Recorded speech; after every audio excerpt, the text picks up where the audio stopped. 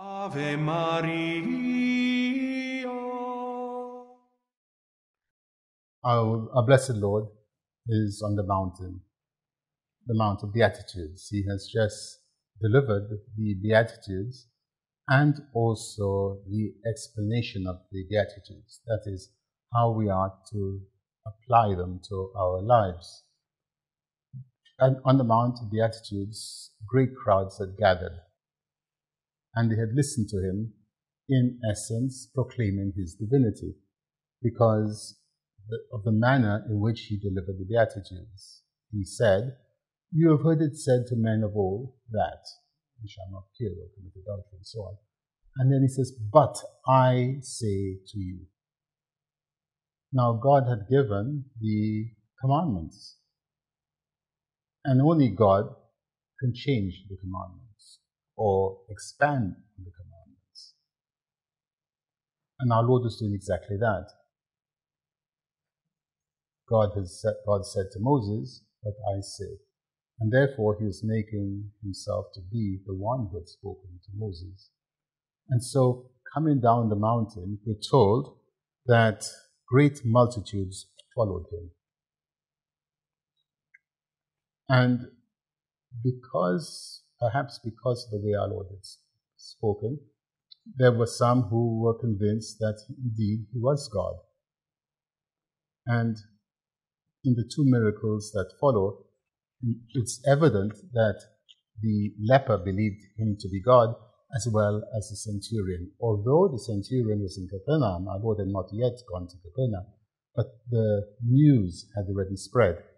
And so we're told, Behold, the leper came and adored him, saying, Lord, if thou wilt, thou canst make me clean. What is he saying? My being cleansed of leprosy depends entirely on your will. But on whose will does the curing of any disease depend, if not God's?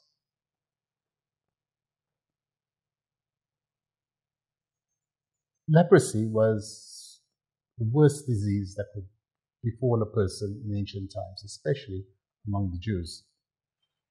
Because not only of the physical consequences, namely the, the body itself literally rotting, there was the physical pain that went with it. There was the psychological distress that accompanied it. But there were also social repercussions. The leper was excluded from the society of Israel. He could not mix with people. So, for instance, he couldn't go to, to the market, he couldn't live with other people. But even worse, he could not go to the temple, and therefore he could not worship. He was not permitted to offer sacrifice. And so, having been a leper was a situation of, of great grief, sorrow, pain, uh, and bordering on despair. And so, when the leper approached our Lord, he was really at the end of it, he knew that only God could heal him. Only God could remove him from that situation. And so he says, if you will, if you want to, you can heal me. He didn't say you will ask God, but he said you can do it because he believed him to be God. If we think of Naaman, the Syrian who was also a leper, he went to um, Elisha. What did he say when Elisha said to him, Go and bathe in the Jordan? I thought he would come out, he would look at the spot, and he would ask his God. But this leper doesn't. He says, If you want to, you can do it. And so the Lord immediately stretched forth his hand and touched him. Now, anyone who touched leper was unclean. But not so for our Lord. He touches him and he said, I will. It does depend on me. He didn't say, I will ask the Father, but I will. Be thou made clean. And forthwith his leprosy left him. So the um, God, the, the, so the so Christ willed it, and it happened. He spoke, and the sickness departs. But our Lord gives the leper instructions now, and we shouldn't just bypass. There, there's specific reasons why he did so. And Jesus said to him, See, you tell no man, but go and show yourself to the priests and offer the gift which Moses commanded as a testimony for them. So, one, do not speak to anybody. Two, go to the priest. Three, make the gift.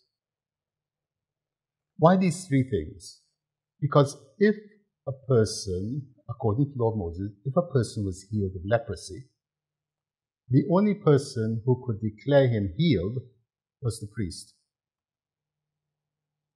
And if the priest, and for, for that to happen, the man had to go and expose himself to the priest. He had to show him his, his chest, he had to show him his face and his hands. And the priest from this could discern whether the man had been healed. If the priest said yes, the man was then to go and get a lamb and offer it in sacrifice. So here our Lord is saying to the man, to the leper, speak to no man. In other words, do not prejudge, do not anticipate the judgment of the priest. Don't listen to anybody else, but only the priest. Because if he met someone and said, Yes, you're clean, the man might not go to the priest. And of course, we know what happened in the case Naaman, at, least uh, Elijah's servant in regard to Naaman. So he says, Don't speak to any man. He said, But go, show yourself to the priest, so fulfill the commandments, and um, offer the sacrifice, the gift that Moses commanded. So several things are going to happen. When he goes to the priest, he will show that um, his, his chest, his head, and his hands, as was required. The priest would pass judgment. The priest would no doubt would ask, how is it you came to be clean, to be cleaned? And so, in declaring our Lord clean, the priest would be acknowledging that Christ had done it. And therefore would not be ignorant of the claims of our Lord. The fact that he offered the gift also would confirm this. And therefore, the priest could see that our Lord was not against the law, an accusation that we brought later on, nor did he um, um, try to abrogate or to ignore the authority of the priest.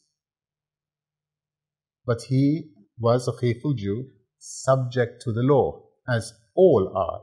Now notice that our Lord is the lawgiver, but he still obeys the law. And indeed, all those who um, have authority to establish laws should be the first to obey the law and not overrule the law or make exceptions to the law that are unjust, as we currently see happening.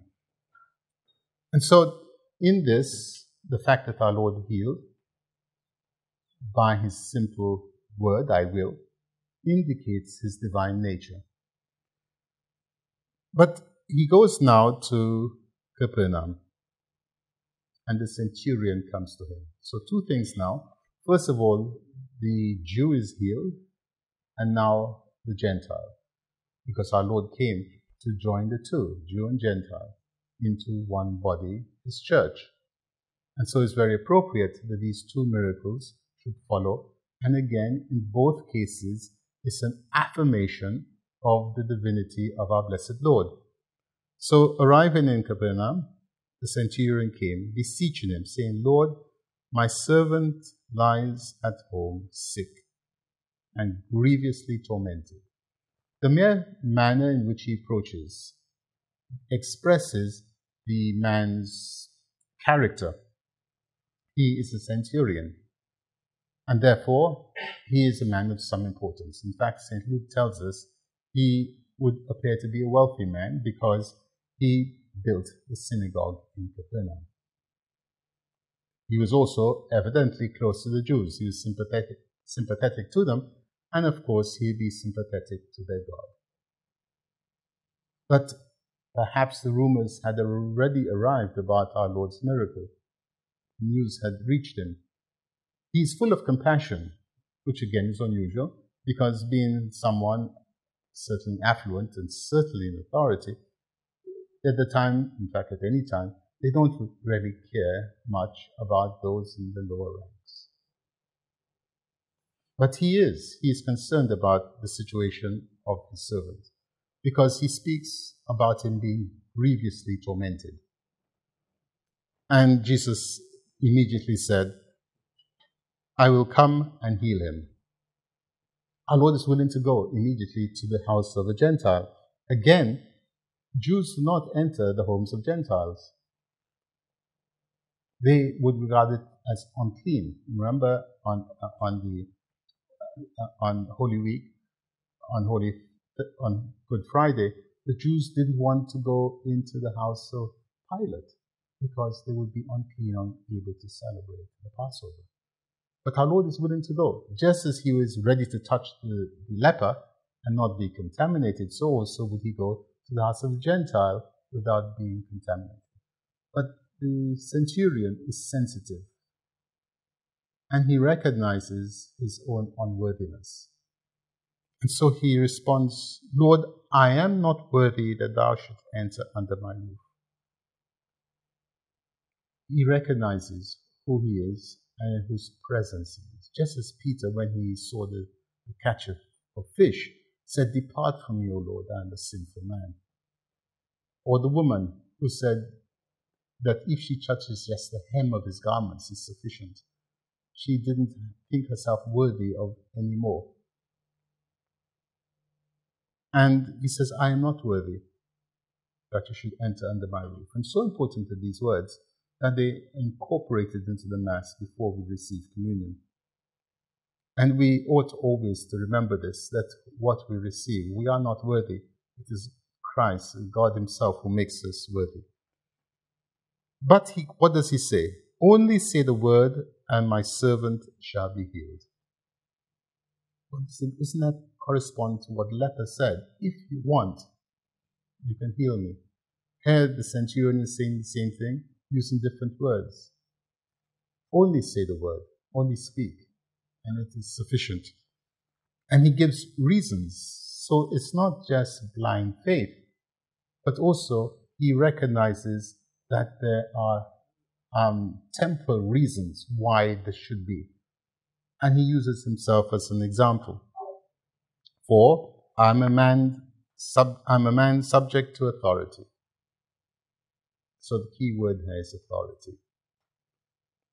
I have soldiers under me. If I say to one, go, he goes. If I say to another, come, he comes. And if I say to a third, do this, it is done. And so he says, This is how it is. But you are God, and therefore you have authority over all things. So if you say to the sickness, Depart, it will depart. If you say to the temptation, Depart, it will depart. If you say to health, Come, it will obey you. Speak, ask, command health to come to my servant, and he will be made whole. If I say to my servant, do this, it is done. And so whatever you say will be done. And this shows a profound faith. So great a faith that we're told Jesus, hearing it, marveled. And he said to the multitudes following him, and he speaks prophetically and he speaks as a warning. Amen, I say to you, I have not found so great faith in Israel. Now, there should have been greater faith in Israel because, one, they were the children of the promise. God had promised Abraham a kingdom. He had promised him that his descendants would inherit this kingdom. The people of Israel were the recipients of many of God's miracles. We think of the, the, the time, their time in Egypt. and how God intervened directly and led them out of Egypt. We think of what God had done for them in the wilderness, how he fed them on the quails and on the manna, how he gave them water from the rock. We think of how he introduced them into the promised land, how he was with them when they, defe- when they defeated the enemies. We think of how he constantly called them back. He sent the prophets. He gave them kings. He sent them prophets to correct the kings. He was constantly calling them back. And all of this, there were miracles being worked. So they had no reason not to believe in the miracles and in the signs. Yet our Lord says, He's not found faith as great as the faith of this pagan, this centurion. And then he gives the prophecy. And I say to you, many shall come from the east and from the west, and shall sit down with Abraham and Isaac and Jacob in the kingdom of heaven. So he's speaking about his church, which will embrace Gentiles like the centurion, people from the east and the west who are not descendants of Abraham according to the flesh. And but these will sit down with Abraham and Isaac and Jacob in the kingdom of heaven. But then the warning that the children of the kingdom shall be cast out into the exterior darkness. The children of Abraham according to the flesh, because they do not believe, they will not inherit the kingdom of heaven, but rather they be thrown into the exterior darkness. There shall be weeping and gnashing of teeth. And so our Lord speaks, I think, for the first time about hell. And this is a serious warning. So when we hear that there is no hell, or if there is a hell, it is empty, we know that this is in outright contradiction to what our Lord says. I think um, he speaks about the exterior darkness, hell, about 15 times in the Gospels. So we should take it seriously. And why? Because there's lack of faith. And then Jesus said to the centurion, Go and, and as thou hast believed, let it be done to thee. Again, showing the, um, the his will to heal, his will to satisfy our desires. And the servant was healed at that same hour. So we see this the um, centurion, moved by compassion, approaches our Lord, not for himself, but for someone else. And the Lord responds because of the centurion's faith, not the servant. The servant is miles away. Yet the faith of the centurion was enough to grant him help, to save him. And no doubt the centurion believed, became a Christian, as did his family, and indeed the servant who was healed. And so we see here the communion of saints at work. When we ask the saints to intercede for us, they do exactly what the centurion has done. And so when we ask our, our patron saints to intercede for us, to strengthen us against sin, against temptation, when we ask them to obtain for us some favor, some spiritual enlightenment, the saints will intercede. And the Lord, who knows their faith, will say, Let it be done. And so our faith is, is so important because it's only by faith we can really approach God. It is through faith, believing in Him, who has sent His Son to save us. In the name of the Father, and of the Son, and of the Holy Spirit. Santa Maria,